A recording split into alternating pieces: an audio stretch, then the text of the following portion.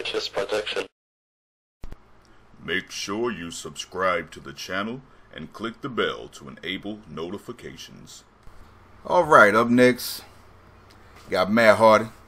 This is just like with the Jeff Hardy set, just the same set that I've done the past couple years. I think there's a tweak or two in there. Wasn't really much to do for him. I wanted to make sure that, that especially if you see the thumbnail, that it's it's Matt Hardy, you know, not broken woken. Although that was entertaining, that's ah, I like Matt Hardy, so this is more reflective of that. But honestly, I mean, the broken woken character in terms of moveset wasn't really.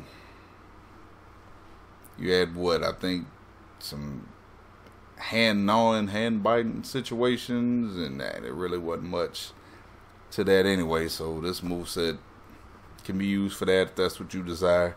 Me personally, you know, I prefer the Hardy Boys. Man, I know people love Jeff, and Jeff is the heck of a performer. But man, y'all be sleep on Matt, and I know I've probably said it a hundred times, but it's true.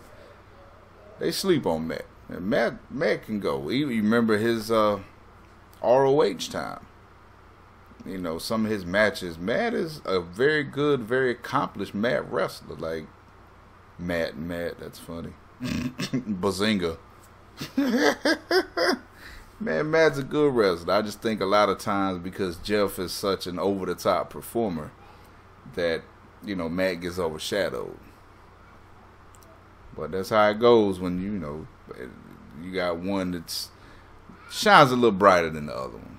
Doesn't necessarily take away from the shine of one, but just you see the other one a little better. Anyway, subscribe, like the video, know what it is, keep it real, live righteous.